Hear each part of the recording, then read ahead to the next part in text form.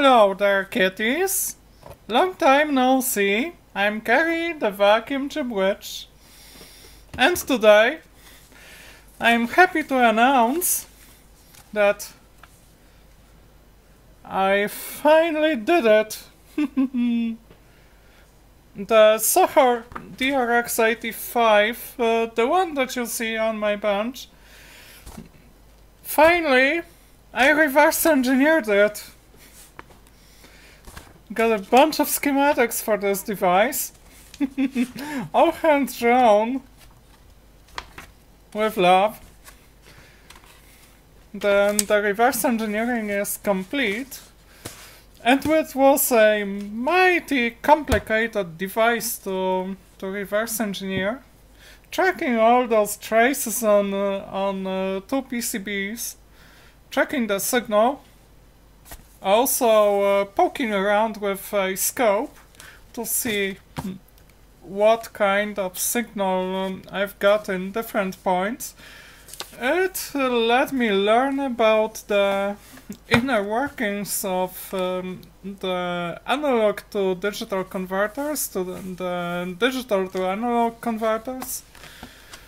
Also the, the memory addressing circuits and uh, that's a mighty interesting device. Uh, we're gonna take a deep dive and see what happens there. One moment, please. Let me go over to the bench.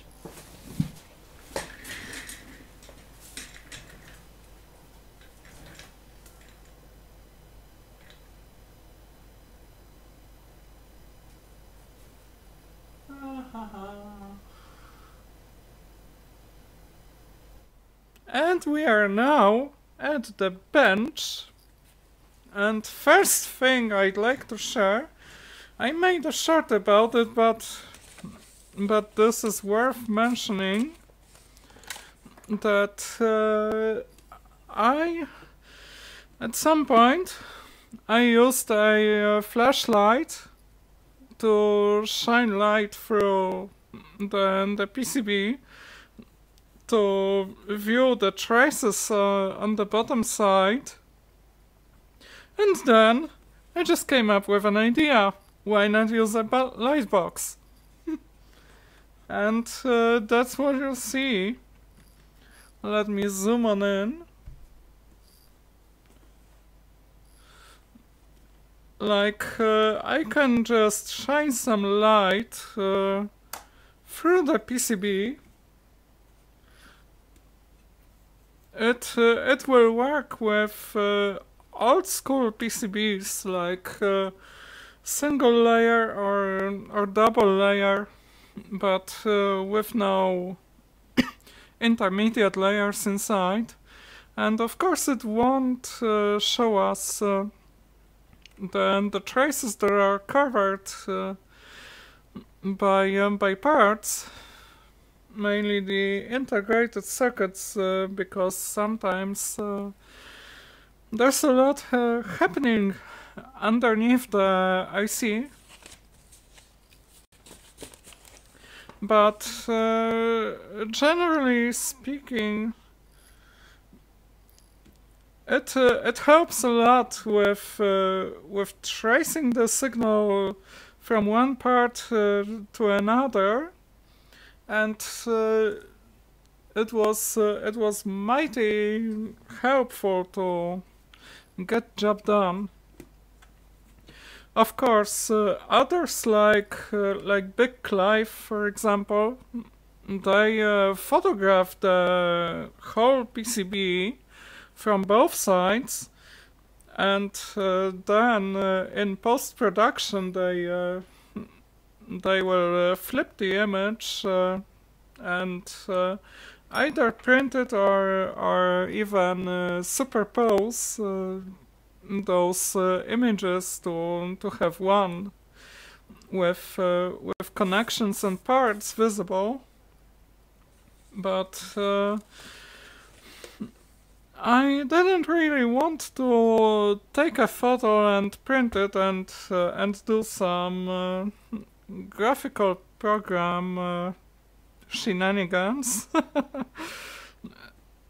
I just uh, I just wanted to work on uh, on the board, not uh, not the photo, because uh, every now and then uh, you just have to poke around with with the meter, check the voltages, check the continuity, and uh, you can't do it on an image, although having a photograph of the printed circuit board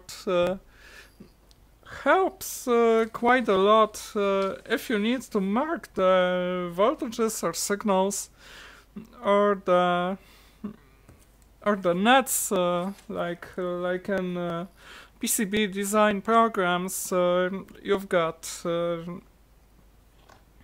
you've got different different net lists and and Clive marks them with with different uh, colors, like uh, on the soldering pads. He mostly does um, the surface mount stuff.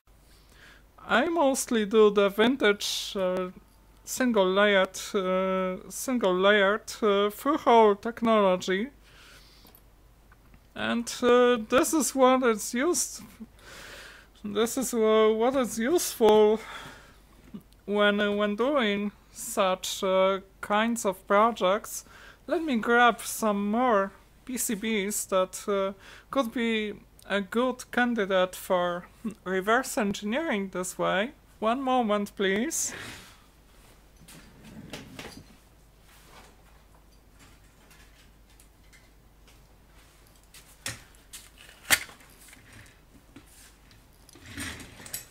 So now the Sochor goes off and it will it will come back pretty soon. And a, a display module uh, all those birds uh, I salvaged them uh, from uh, some devices that, that I disassembled. But uh, as you can see then the traces uh, are pretty clearly visible. And uh, if I've got a uh, double layered uh, PCB, then then the bottom layer tends to be a little bit uh, a little bit blurry, but uh, I can tell one from another, though sometimes it gets a little bit discombobulated. This is a uh, example of a big uh, double layered board.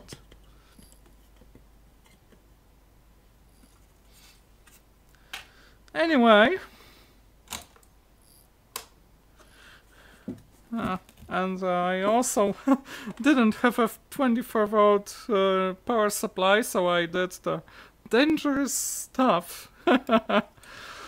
but if you expected uh, anything going electro boom, other than the other than the full bridge rectifier made of discrete diodes here. You would, uh, you would get none. so back to the Sochor. Let's start with the block diagram. And let's zoom on in to, to see how this device uh, actually functions. Let's take a look at the rear panel. We've got the instrument input, the microphone input. We've got the universal input, which has uh, its uh, peculiarity. Apart from uh, the level being adjustable here, we can uh, choose whether the dry signal is to be mixed uh, together with um, with the delayed signal and uh, available on the output. We can't uh, we can't choose between the mixed or delayed signal. If we use the microphone and uh, instrument inputs, those will always be mixed with the dry signal. And on the front panel we've got the microphone and instrument uh, input uh, level tone controls. Then we've got the high pass, low pass uh, filter, the repeat controls, and uh, also the echo or reverb uh, selection switch. We've got uh, delay time adjustment. Uh, this is the feedback control that uh, allows us to drive a certain portion of uh, of the delayed signal back to the delay unit's input to allow us to make some more repetitions. Then the delay time controls both the, the multiplier that uh, it has something like uh, you'll see on an oscilloscope. The extreme position is then the calibrated uh, position and uh, it it will click in into place uh, and uh, be marked with a shining LED Let's let's switch this thing on and and see. Turning on every one of those switches. Uh, it also has an additional section that uh, turns on uh, the LED. A little bit superfluous, but uh, certainly attractive in those times. It was 1986. Then we've got the delay time control and the post-effect uh, signal volume control and tone controls. And the the bypass switch, it's not the true bypass you are used to seeing on uh, effect pedals. It just uh, shorts the output of uh, of the delay to ground, though it will still let um, the dry signal through unless you are using the universal input and uh, decide to use only the delayed signal then uh, then the unit will be muted altogether if uh, if those uh, two switches are pressed. So let's take a look at um, the block diagram and see what goes where. So we've got the microphone and instrument uh, input they are actually just there. One of them is 10 decibels um, lower than the other one. So uh, this uh, this attenuator, it's uh, pretty clever. Whereas uh, here we've got one. Since uh, any of those inputs uh, is shorted to ground when um, the, the plug is not uh, in the input jack, it will form a uh, voltage divider together with a low pass filter. For the microphone it would be 15 to 37 and for the instrument it would be 47 to 15 kilo ohms and that's where the difference in uh, input sensitivity comes from. Then we've got a two transistor amplifier cir circuit, the input uh, level control, the active uh, Baxandall type uh, tone controls with a single transistor amplifying stage uh, on the output. Then the mute switch uh, is realized by by two normally closed uh, contacts wired uh, in series between uh, the output of this uh, amplifier and the ground. So it just uh, shorts uh, it shorts uh, this amplifier to the ground. And here we've got two summing nodes one of the, them uh, between the universal inputs uh, amplifier the microphone and uh, instrument input uh, amplifier and also the feedback signal from the delay units uh, output uh, from the first uh, digital to analog converter and the output of this amplifier is fed into the level meter and the analog to digital converter.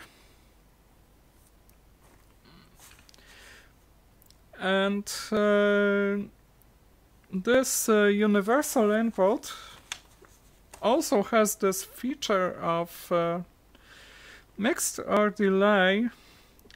Then the switch basically cuts off the dry signal from uh, from the universal input, it does not cut the dry signal from the instrument uh, or microphone uh, input.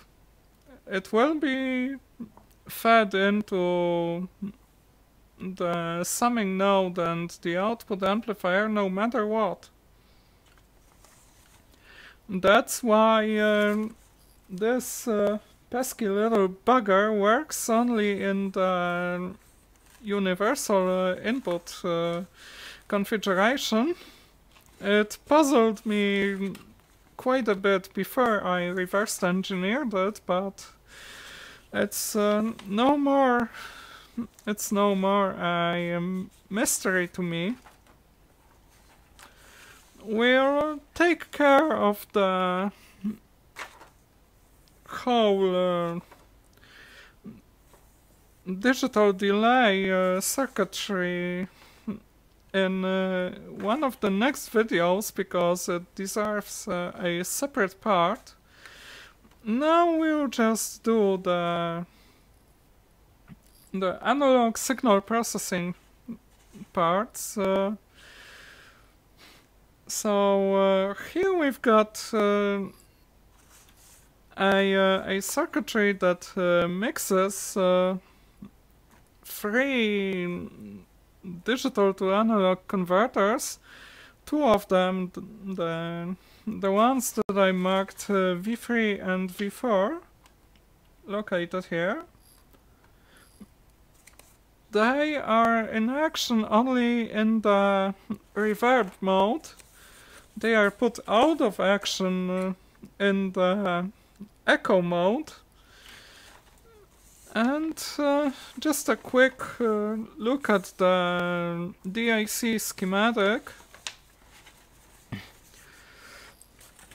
The, the disabling of those uh, DACs is done by uh, shorting this uh, end of, uh, of the diode to negative uh, 12 volt supply. Otherwise, uh, it will be left floating and uh, and the control that goes to the amplifier bias in the DAC will be active. So back to the output section.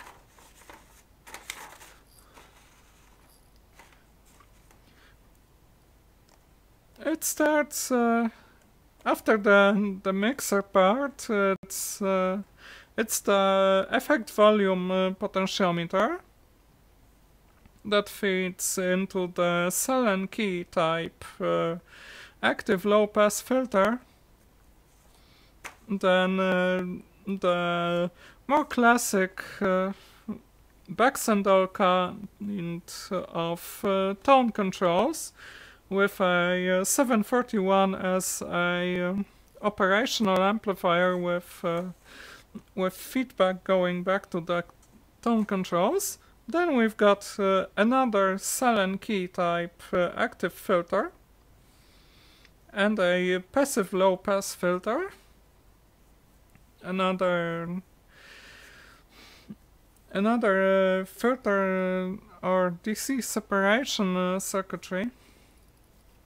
And the bypass switch I mentioned that it's not true bypass. it's false bypass. it uh, also uh, just uh, just uh, mutes the the signal to ground.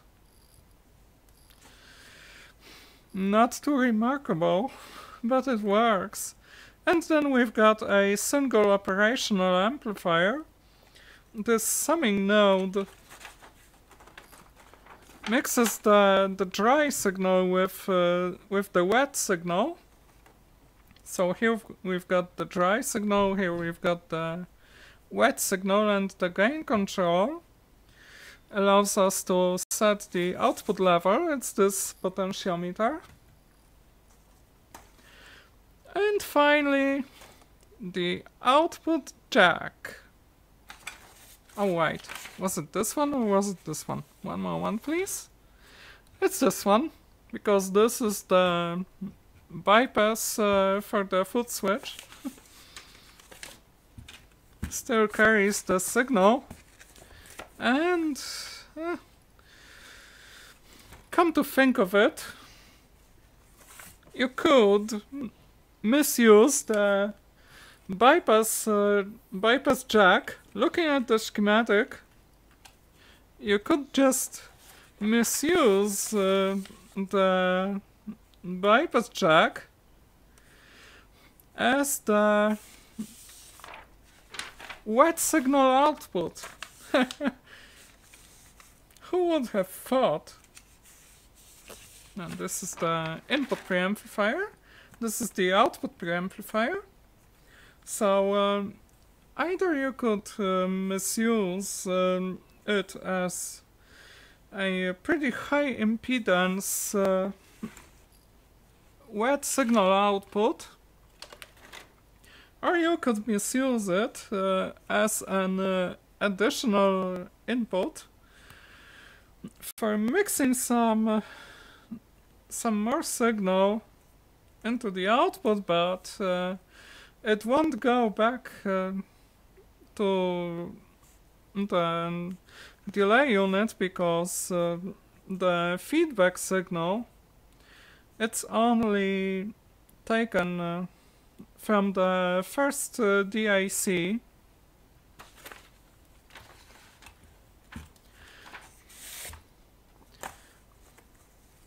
and the sheer amount of work uh, that went into creating those schematics and uh, figuring out uh, the, the whole device. it took me something like two weeks to reverse engineer. This is the analog to the digital converter. and the digital to analog converter. And this is uh, also an interesting part. Let's uh, let's put those schematics aside. Focus on the one that I'm telling you about. So, this is the delay time uh, selection circuit. It uses uh, two integrated circuits that were originally meant uh, for radio and uh, TV receivers for selecting the the voltage uh, controlled uh, the voltage uh, for the voltage controlled uh, tuning heads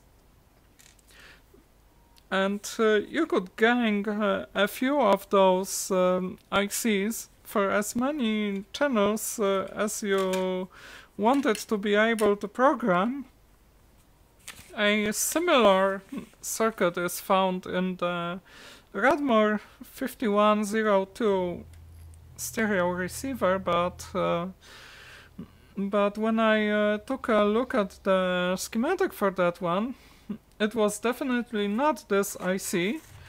Then I did some uh, googling, uh, some uh, some research, uh, some cross-referencing, the pinout with uh, with the schematic that I drew, some notes that I took when reverse engineering this thing, and I found the designation of the IC and how it works. Basically, this IC whenever you short the control input to ground through a large resistance, those serial resistors, they are 1 meg, it will activate uh, some uh, some trigger in it, shorting the the signal line to ground and it was uh, meant for for uh, lamps of uh, of any kind, uh, be it neon or or light bulb uh, or LED, even Nixie tubes. The indication uh, output will be shorted, and then there's some more circuitry in this IC that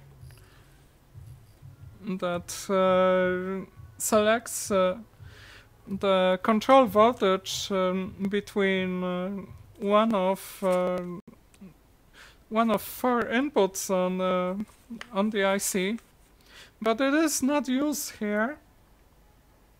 What is also used is uh, a input-output line that uh, acts as uh, the resetting line and the changing uh, signal output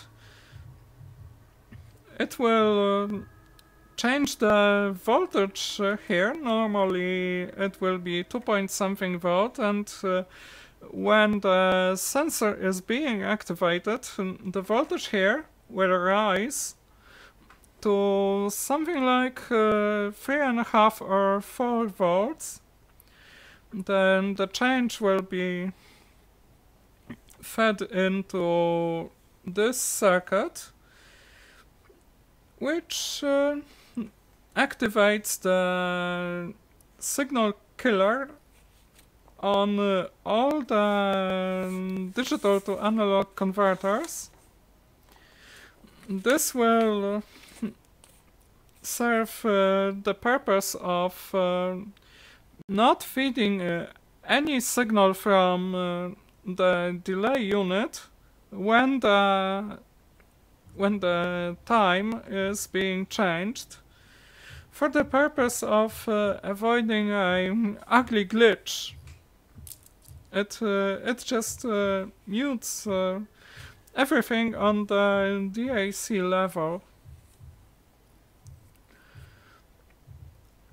So uh, this will be this will be this circuit, this will be this circuit, and the the outputs, uh, the control outputs will be pretty interesting too. Because uh, whenever the the time is activated its corresponding indication line uh, is uh, pulled low those are LEDs right uh, above those touch sensors and uh, whenever an LED shines, then the current uh, flows through it into the low state. So uh, if uh, if we've got uh, a low state on on the first sensor, this will be low, and any subsequent uh, output will also be low. Then, if we choose the 10 millisecond delay time, then the first one will be high, out one will be high, but then the second one will be low. So even though this is high, this is low, so this will be low and uh, any subsequent one uh, will also be low. And uh, 20, 30, it will basically enable put the put the high state uh, on more and more of uh, the outputs. The last one, it just controls the LED, but it's not used, it doesn't go into any of those AND gates. And uh, if uh, 640 millisecond delay is, uh, is selected, all of those uh, outputs from 1 to 7 will be high. And uh, those outputs are fed into AND gates. Yeah, more and more AND gates. of uh, the memory control circuitry that uh, will put uh, more and more memory cells uh, in action allowing for holding the the, the samples of uh, the digitized uh, signals for more time. And uh, that's basically how how this thing works. I haven't uh, exactly reverse engineered uh, how the memory control works yet. But uh, this is pretty clever. And uh, here we've got the very classic linear power supply. Oh, I forgot marking the the values of the capacitors here. But we've got uh, 70, 78, uh, 12, 79, 12 and 78, uh, 05 uh, linear regulators. And of course the full bridge rectifiers uh, made of discrete diodes. The unit uh, has been completely recapped. All the electrolytics and and the ceramic capacitors, uh, they are gone. And uh, this is the logarithming circuit um, with an uh, operational amplifier located here. It controls the UL1980 bar graph driver and uh, the more voltage we've got on the input uh, compared to the reference voltage on pin number 2, the more diodes uh, will come on up to the 0 dB input level.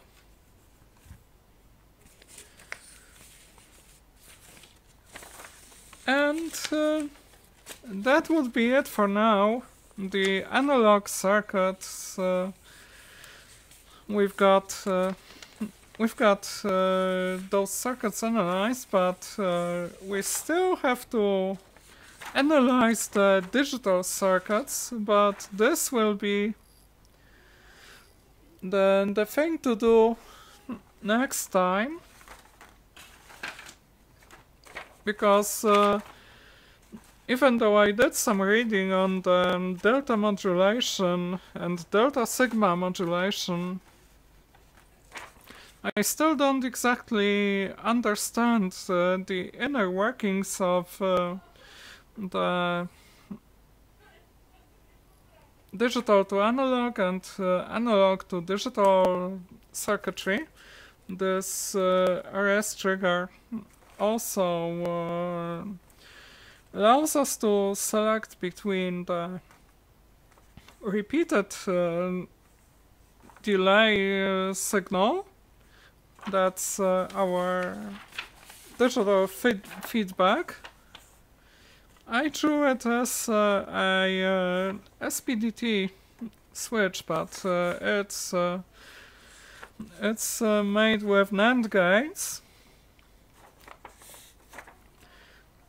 Allows us to choose between the, the feedback, so all the digital signal will be circulated and now digitized uh, input signal will be fed into the delay device. That's uh, what it does in the repeat uh, position. And when the repeat switch is off, it will work normally, passing the signal from the analog um, to digital converter into through the gate into the first pair of uh, of the triggers. And uh, those triggers change state uh, on the clock pulse from the memory board from the DAC CLK uh, output, so it happens uh, a little bit uh, after the the negative uh, write enable on the RAM uh, is uh, activated. Then when when this goes positive, the the input state on the D input will be transcribed to to the Q output and uh, and to the D input of the next one. But uh, it will wait uh, until the next uh, clock uh, pulse uh, happens to be transcribed from from here to to there and uh, whenever the the state on uh, on the input and the state of the output that is the previous state uh, are different. One of them is 0 the other is 1 or one of them is 1 the other is 0 the control uh, circuitry of uh, of this uh, of this operational transconductance amplifier will will activate it uh, and uh, let the signal out here change change the voltage then change the polarity that will go to this capacitor that uh, acts as a uh, integrating circuit and uh, here on the output uh, we've got uh, pretty much recombobulated uh, analog signal. When I took a look at it with the scope, um, here I got the sine wave resembling the input signal when I uh, when I fed the unit with uh, some uh, one kilohertz uh, signal from the generator, and uh, and here on the inverting input of um, the operational transconductance uh, amplifier, I had a a train of bits. Those were pretty fast. So this um, this D trigger uh, de detects the change of state. When the state doesn't change, uh, it will uh, stay negative. Uh, the, the output will uh, stay negative. And, uh, and here those pulses are being integrated. This is the bias adjustment for DC balance so that um, the comparator inputs uh, don't have uh, any DC voltage difference. So we adjust it so that uh, we have uh, 0 millivolts uh, between the comparator inputs. So that would be the analog to digital converter which uh, in fact uh, also features one digital to analog converters.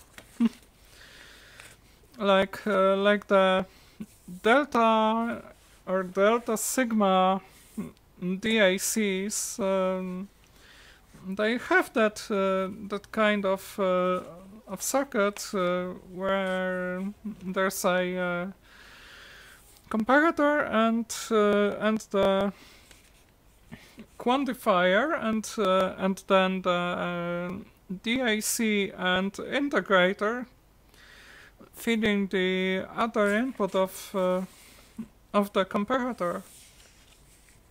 So uh, so this would be the other way, uh, the, the digital to analog.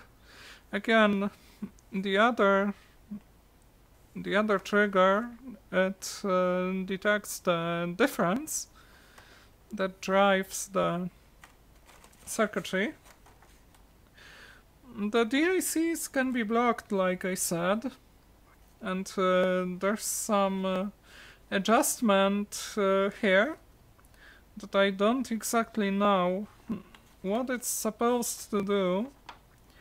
It certainly sets the bias point of um, the operational transconductance uh, amplifier but uh, I don't know um, how the bias how the bias should be adjusted, so I didn't touch those potentiometers.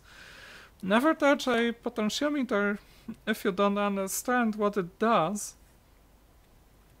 And here we've got um, a integrator circuit again, and the output buffer that uh, feeds into the DAC output.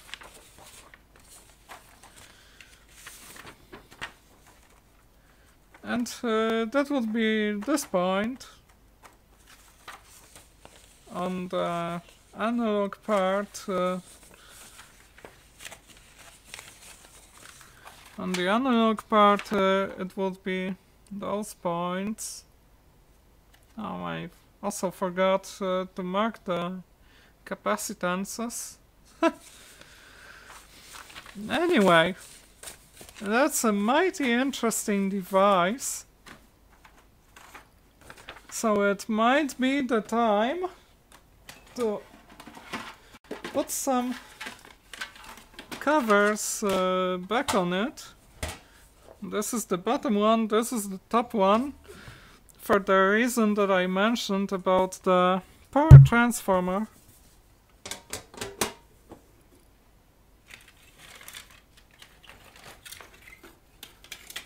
Mm. that's mighty amount of discombobulation going on of this uh, workbench now. But yeah. Let's put those screws back in place and uh, then maybe I'll just fire this thing up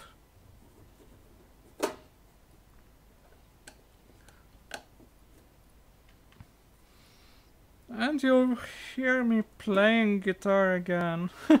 Trying to play.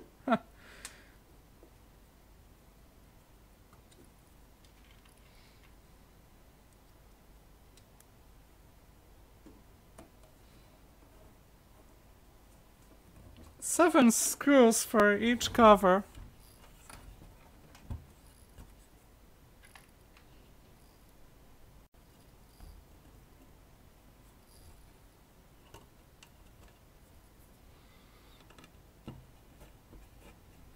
We'll be done with it real soon.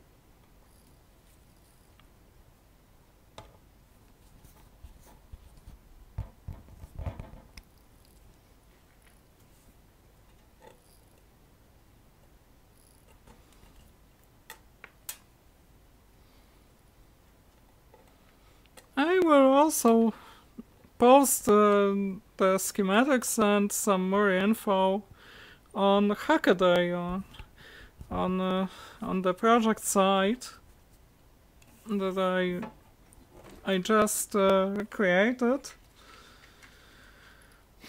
With I hope to preserve um, the inner workings of uh, of this uh, pretty magnificent device from the 80s.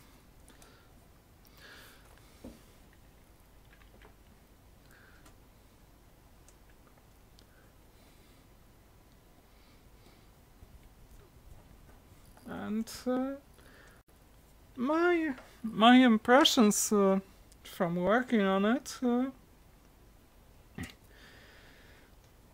I frankly, I learned a lot.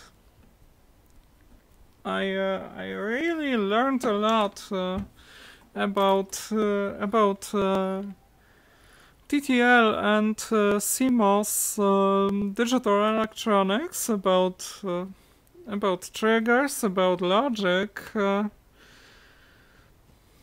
this this helped me to understand how the counter ICs work, how the the triggers uh, work, and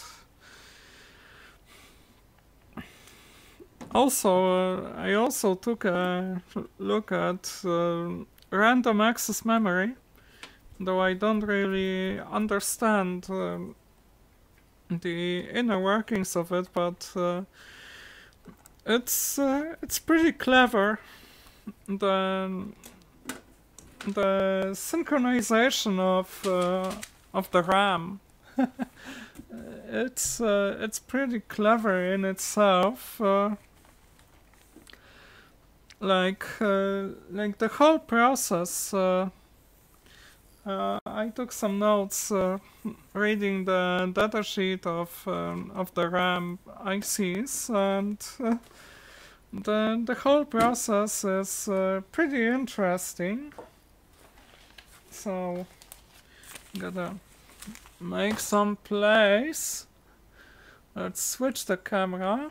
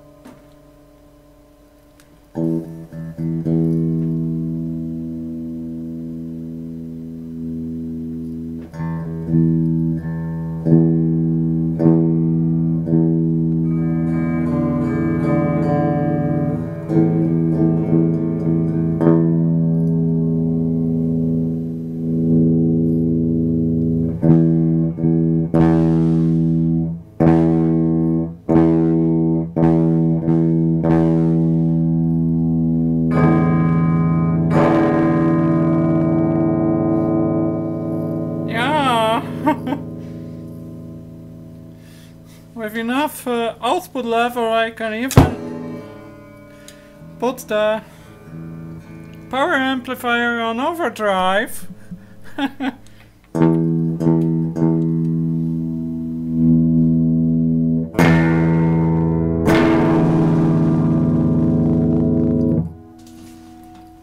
I really shouldn't have the metal trash can. The thrash metal can in front of the speaker.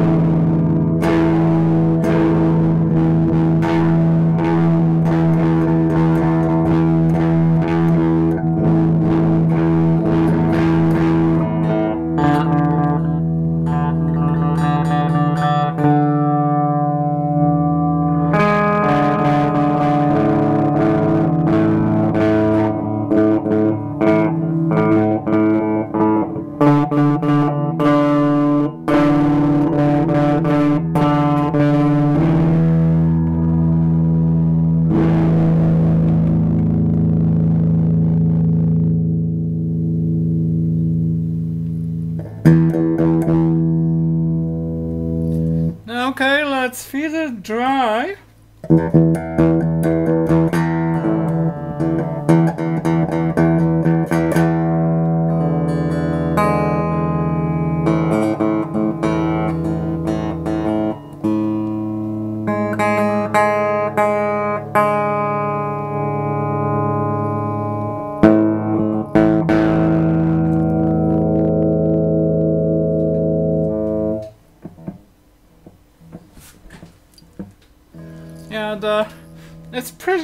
crappy that the volume pots only go to 8.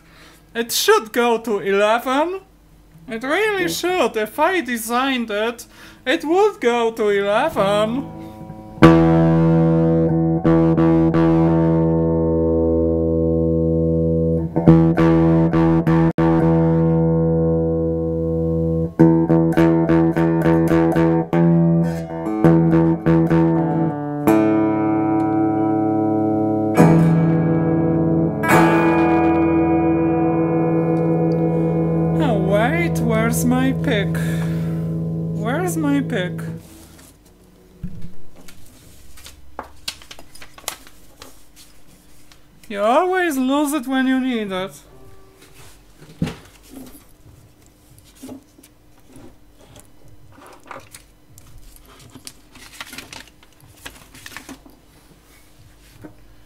Wow, I'll find it next time.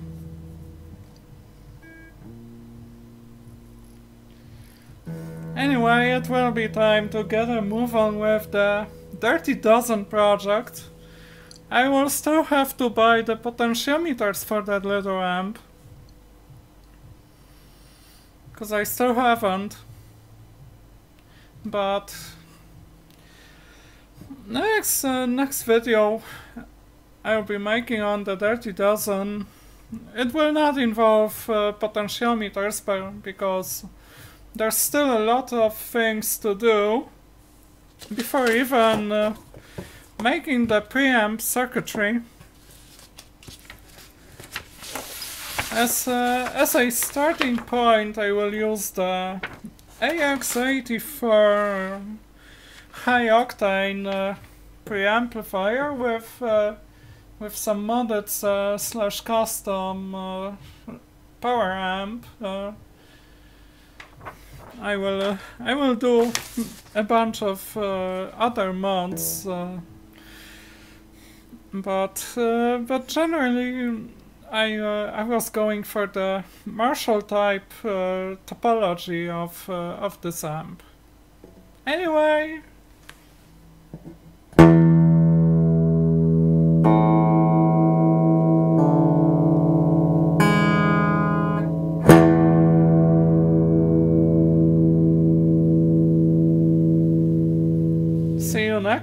Time.